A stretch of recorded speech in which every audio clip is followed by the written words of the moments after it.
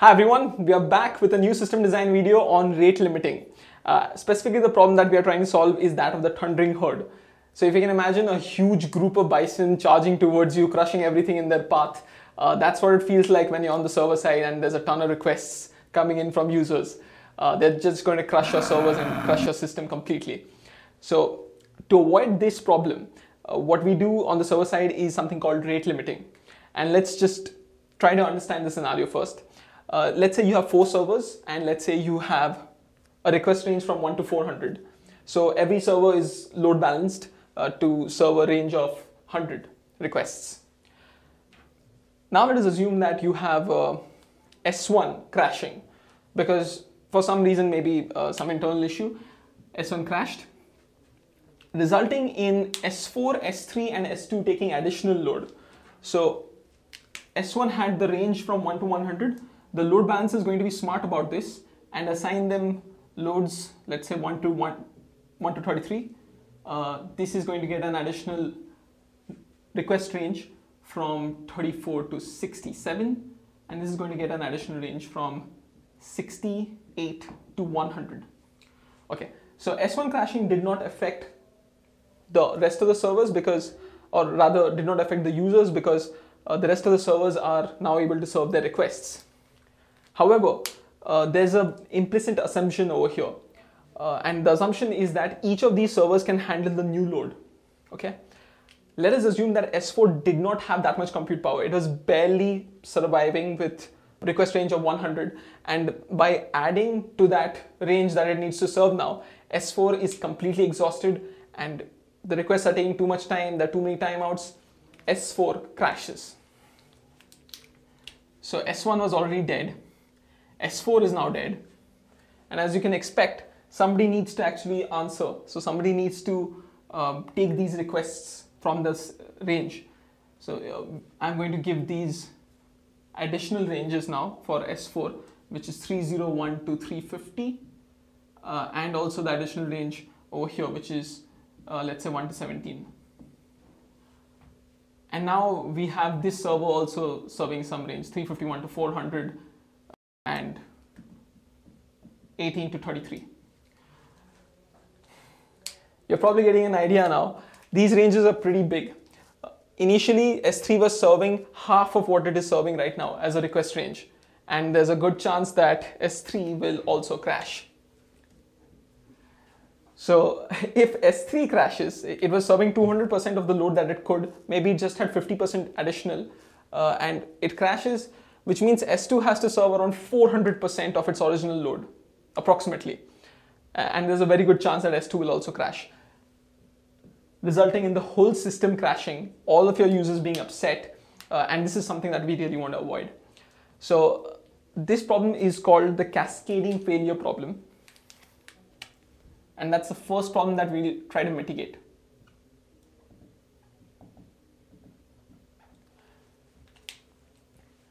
As you can see, this cascading failure is a race against time. When S1 had crashed, there's that delta, that small time gap that you have for bringing in a new server before S4 takes that much load and crashes.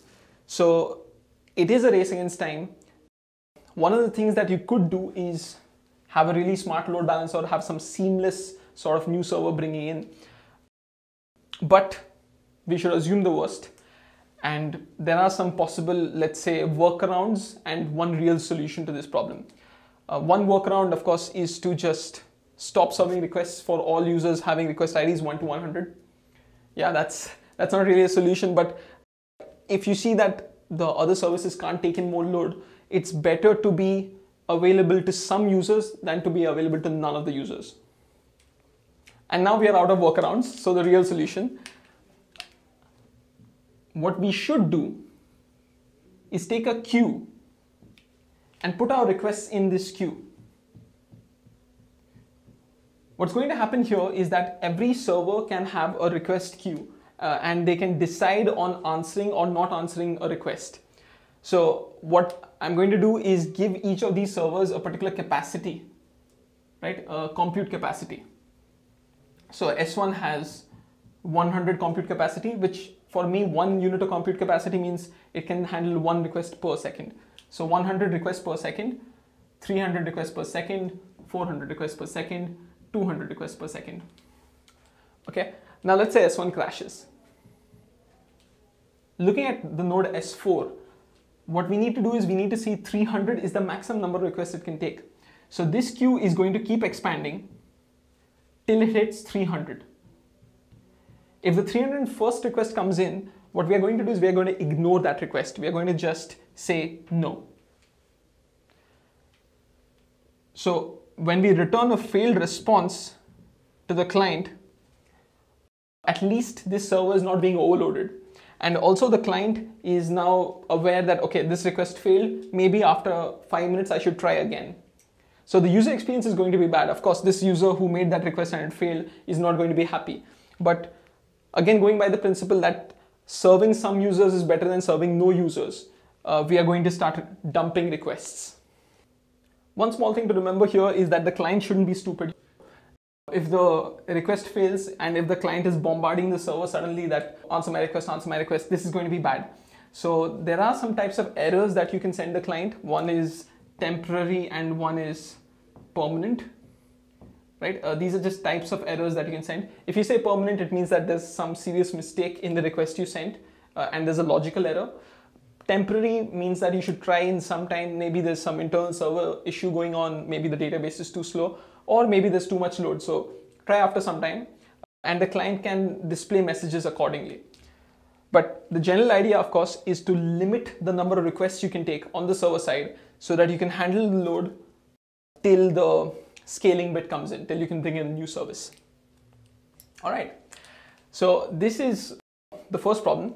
The second problem that you can face is if you go viral or if there's some sort of an event, uh, let's say Black Friday. You know, sales go up on Black Friday, so might be an issue. Well, when you have an event, one of the things you can do is because you have prior knowledge, you can scale uh, beforehand. You know, if you have four servers and you assume that on Black Friday you're going to have 50% more users, get six servers. So that's the first solution, which is pre-scale. However, if you're not very sure about the number of servers you'll need during the during the event, one thing that you could do is auto scale. And please don't quote this video if you spend too much money auto scaling. But yeah, I mean, auto scaling is uh, something that is provided as a solution by cloud services. You know, if you if you host your service on the cloud, you can probably ask them to auto scale your service. And you know, auto scaling is not a very bad idea usually because the increased number of traffic is probably meaning that you're going to make more money out of that traffic. So yeah, that's one solution. Um, how about if you go viral? Well, if you go viral, uh, you can just fall back to the old solution of rate limiting.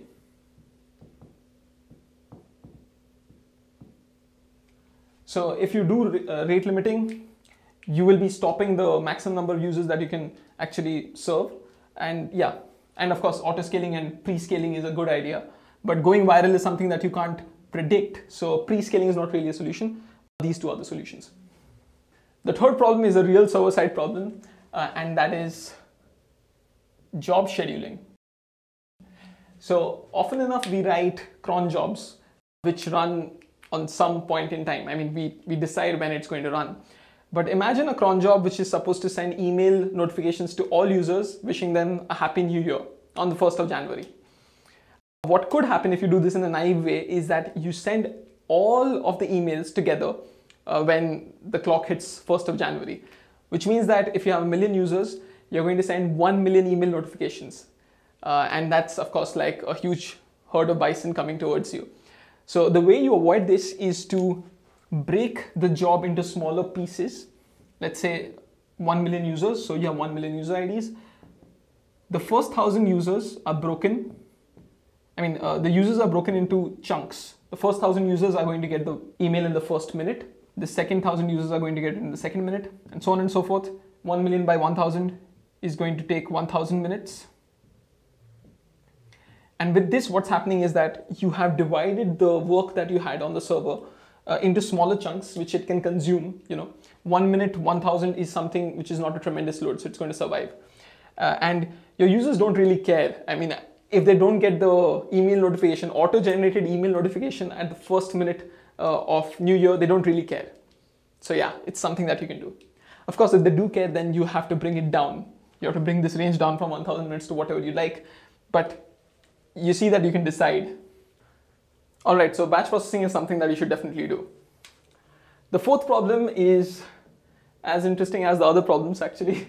Uh, it's when someone popular posts something or if a post goes like if a post becomes really popular if a lot of people are liking it sharing it uh, subscribing to it like you guys should. But popular post. Let's say a user uh, like pewdiepie posts something on youtube then you need to send it to all of their followers. If you do it in a naive way uh, the same issue of you know job scheduling will come in. There's too many users and a very small uh, time delta. So what you could do is batch processing over there, you know, send users in chunks of 1000. But something that YouTube does uh, really smartly is adding jitter. In which case, if you have a lot of followers, what's going to happen is the notifications are going to go to them in a, in a batch processing way. But if they start hitting the page, let's say the video page, then there's some content, the video content, which is core to YouTube but there's a lot of data which actually doesn't matter if you think of it. Uh, that's the number of views, the number of likes, number of comments, and so on and so forth. Now, if you have a very popular user like PewDiePie actually posting a video, the number of views are going to be changing dramatically. So what you could do is to faithfully display that or you could do it in a smart way. So let's say in the first hour, we get 1000 views. Then in the second hour, if there's a lot of users who are asking the number of views uh, in this video, I'm going to be smart and I'm just going to say 1000 into 1.5 is the total number of views now. So that's 1500. Yeah, but maybe the total number of views in reality was 1700. So there's a mismatch between reality and what is being displayed. But we don't care because this is metadata. This is something which is not core to the video. So we are just going to display some number uh, which may or may not be true. It's an approximation. And do the users really care? Not really. They want a general idea of what's going on. Uh, and of course, this seems like a really big difference, but YouTube can be smart about this. They can figure out uh, how the views change over time. Uh, and if it's this is the first hour and this is the second hour, instead of finding out the total number of views in this video, they can just run through this graph and figure out where it should lie. Okay. YouTube must be much, much smarter than this, but I'm just giving you the general idea of approximation. Uh, instead of showing people the truth, approximate and save a lot of load on your servers. Potentially, this could save a lot of database queries that you're making to get the metadata of a post, right? Okay, so that's the fourth smart solution, and that is or rather the fifth smart solution, which is approximate statistics. Apart from these solutions, of course, there's some good practices in the server side to avoid a thundering herd. Uh, the first one is the most common one, which is caching. So if you're getting a lot of common requests, then the response is going to be the same. Uh, and you can just cache those requests. And the, I mean, basically cache the responses for those requests. So uh, those are key value pairs. And this is going to save a lot of queries that you'll be making on the database. Uh, in turn, that will be imp improving the performance of your system and also you can handle more load then. Another thing that you can do is of course gradual deployments. Most of the issues that people get uh, in the server side is when they're deploying their service. So there's a lot of uh, stories about, you know, site reliability engineers who are fighting deployments and the developers want to deploy more because they want to get more features out and the reliability engineers want to stop deployments as much as they can because that makes the system more stable. So it's it's an interesting tug of war. Uh, and what you want to do essentially is deploy. So gradual deployments uh, in this what happens is you don't deploy let's say uh, if you have a total of 100 servers you don't deploy them together. You deploy the first 10 you have a look at what's going on uh, and then you deploy the next 10 and so on and so forth. Um, this won't be possible in certain scenarios when there's a breaking change, so to speak, but we are getting into too much detail uh, and gradual deployment is a good idea. Deploy 10, 10, 10, 10 together, unless there is absolutely no choice that you have and you have to deploy in parallel. And the final point that I'm going to make, of course, is going to be controversial. Uh, it's with a star, and that's called coupling. So to improve performance, sometimes what you need to do is you need to store data, which is very similar to caching. Uh, but let us assume that you have a service which for every request that it gets asks an authentication service to authenticate the user first, to authenticate this request, uh, and then serves the request. Let's say that this network call is too much for you. Maybe it's an external service. What you could do is you could cache the user's username and token or password or whatever you like. And now what you can do is you can see that if the username password worked uh, once in the past one hour, then maybe the password hasn't changed.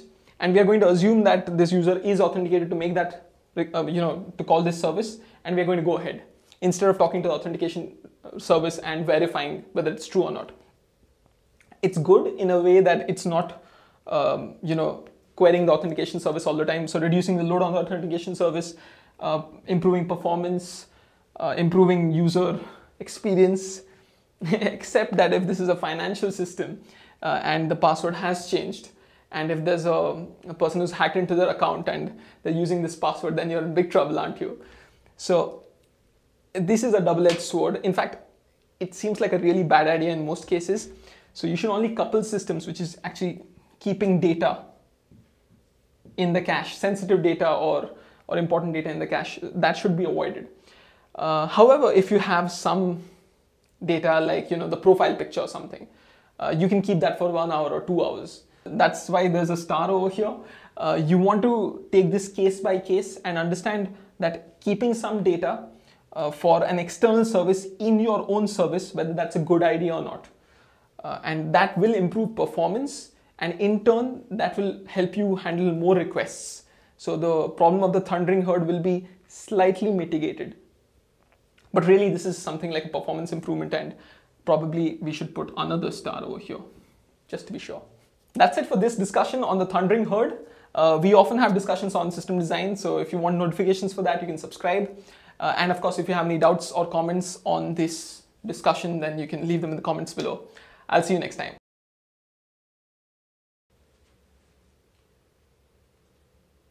stuff like the views, the number of views, uh, the number of likes, the number of comments. These things are not critical to a video.